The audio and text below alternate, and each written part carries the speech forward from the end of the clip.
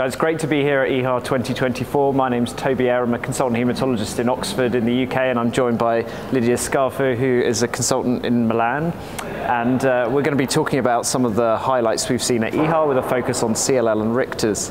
Um, so Lydia, we saw some uh, really interesting um, data with combinations of BTK inhibitor and BCL2 inhibitor, both in first-line treated patients and also in the relapse refractory setting. What were your, what were your highlights from those abstracts? Uh, very interesting data because uh, during this meeting we have the say, first look at the data of the arm D of the Sequoia trial where zanubrutinib was combined with venetoclax in a particularly high-risk population of patients carrying 17p deletion or TP53 aberrations.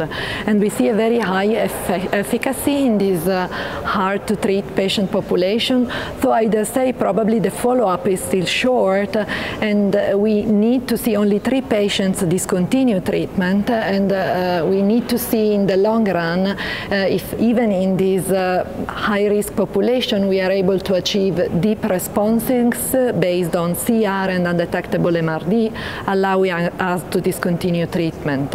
What about the combination of zanubrutinib and sonrotoclax in the relapse refractory setting from your side, Toby? Yeah, thank you. So I mean, sonrotoclax is a, is a new BCL2 inhibitor that's being studied. Um, it's got a shorter half-life and it looks like a very potent agent um, and it's being studied um, as monotherapy in some diseases but also in combination and, and here we saw um, data, reasonably mature data and quite a large number of patients treated with sonrotoclax plus zanubrutinib in patients with relapsed CLL. You could, you could have had a prior BTK inhibitor, but you had to be intolerant rather than resistant to it.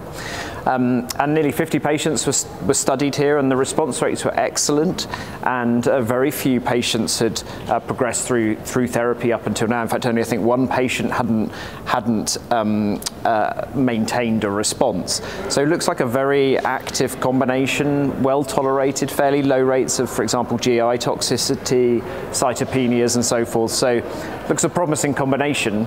And we know this is moving forward into a randomized clinical trial going forward. So um, the, the, combination of zanubrutinib plus sonrotoclax as fixed duration therapy is being compared with venetoclax rituximab in a, in a large international randomized clinical trial. So that's currently enrolling and we look forward certainly to seeing the results of that in the future. Um, so what do you think of, um, uh, there was other, other combinations of BCL2 BTK inhibitors. I think uh, Nitin Jain presented uh, data with venetoclax, obinutuzumab, and the non-covalent BTK inhibitor pirtobrutinib.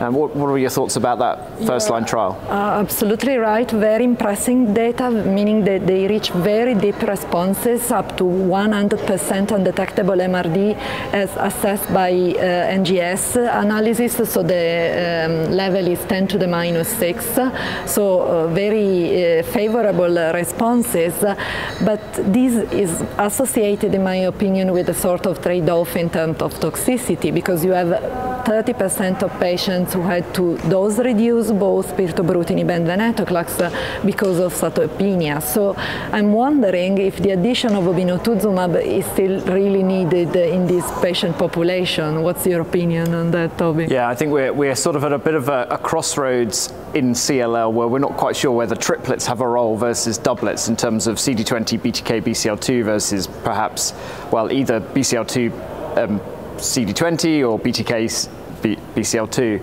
And, and, you're right, there's this trade-off of toxicity and efficacy.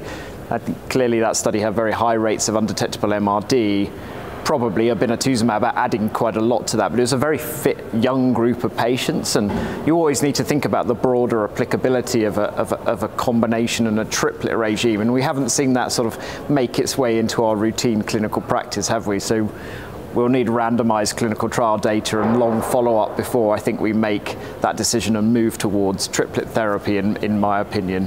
While for the combination of pirtobrutinib plus venetoclax in first line, we are uh, eagerly awaiting the start of the CLL18 trial, where pirtobrutinib plus venetoclax uh, fixed duration or based on an MRD-driven approach will be compared with the standard of care venetoclax plus obinutuzumab, so this would probably provide some additional insight insights on uh, this combination. That, that will provide some really interesting results, answering a number of questions actually MRD driven strategy versus fixed duration, and then also the question about how those regimes fare with uh, a standard of care that we have at the moment, venetoclax obinutuzumab. Yes, I, I, I think a doublet, particularly with venetoclax and, and, and pirtobrutinib, which we know to be a very well tolerated BTK inhibitor, certainly looks attractive to study. So we'll be waiting the results of that with interest. What about uh, relapse refractory patients? Are there any new agents uh, you found interesting uh, during this meeting?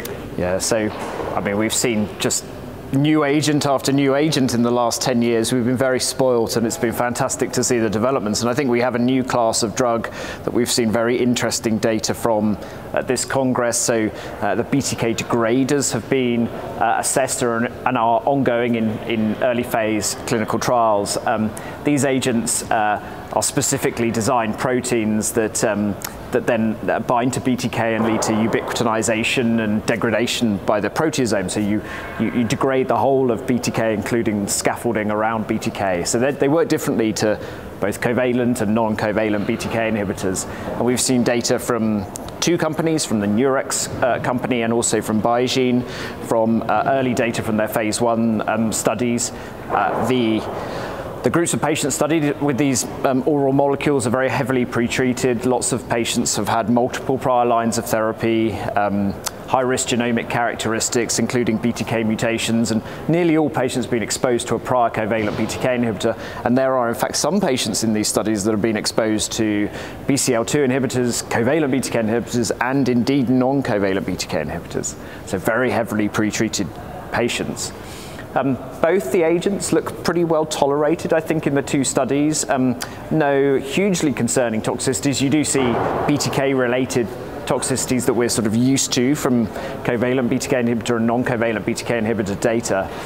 Um, but I, I, would say the response rates look pretty pretty equivalent with the two two agents in the post-covalent BTK treated patients. Response rates are about 70 percent very encouraging early data. We of course need long follow-up and a good understanding about um, about the different subgroups and how the treatment fares and how durable these responses are. But I, I personally thought very interesting data and look forward to seeing more with the development of these two agents. Um, I totally agree, if I may, and uh, so the short of follow-up uh, is uh, still uh, difficult to assess the long-term disease control, and the interesting uh, and potential great advantage is they seem to work even in the presence of different BTK mutations, and they lead to BTK degradation in uh, more than 100% of molecules, so it's a very effective potential mechanism of action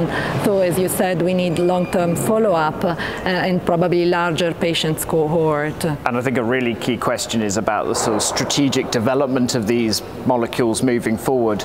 The nature of their their, their activity and their action suggests that probably you would want to use them sort of after covalent. BTK inhibitors certainly have stopped working who knows, maybe after non-covalent BTK inhibitors, or maybe they'll compete with non-covalent BTK inhibitors. I don't, know what your thoughts are um, in that regard. Uh, that's a one million dollar question, I'd say. Um, I mean, so far we have data on a sequence starting from covalent BTK inhibitor, then going to non-covalent, and then we have preliminary efficacy and safety data on BTK degrader. But generally, very effective drugs should be used earlier. So if the efficacy, if the promising efficacy results uh, are confirmed uh, in, the long run, probably we should design trials where we consider the use of this drug earlier, probably combined with something else in order to use fixed duration combinations anyhow very interesting. So watch this space with these agents.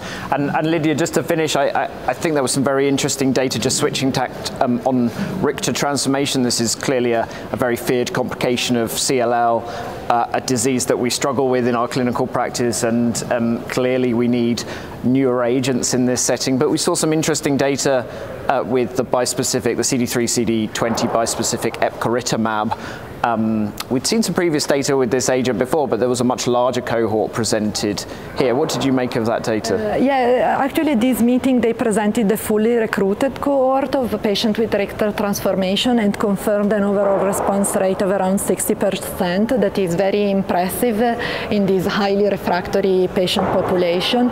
Um, the efficacy was actually associated with a tolerable um, safety profile, meaning that as expected patients experience CRS and uh, in small percentage also neurotoxicity, but uh, they were manageable. Um, again, probably we should better understand uh, with the longer follow-up the duration of response. Uh, as mentioned, this was a very uh, heavily pretreated patient population, uh, previously exposed to treatment for both CLL and Richter transformation. Um, and we have also to consider that in the future cohort of the study, uh, epcoritamab will be explored in combination with other treatments. On one side, there is a cohort recruiting patients uh, uh, who will be treated with epcoritamab and R-CHOP. And uh, second cohort I found very interesting is the combination of epcoritamab and immune modulator, modulator lenalidomide. So I'm looking forward also to these uh, additional cohorts in order to better understand if we can achieve long-term disease control in Richter. I completely agree. And I think one of the really interesting things here about this monotherapy data is that these are the highest complete remission rates we've really seen with, with, a, with a monotherapy in, in Richter transformation. The question would be how strategically do you combine these agents? What's the best treatment? Should you go completely chemotherapy free or does chemotherapy still have a role in these patients? Lots of interesting questions, but certainly bispecific antibodies look very active here. Excellent. Well, thank you for joining me, Lydia, and I hope that was of interest, and uh, thank you for listening.